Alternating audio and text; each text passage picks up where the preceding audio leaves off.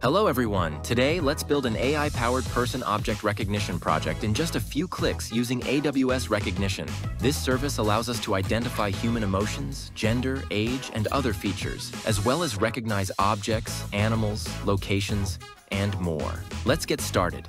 First, let's log in to the AWS console and generate an access key and secret key. Make sure to copy them for later use.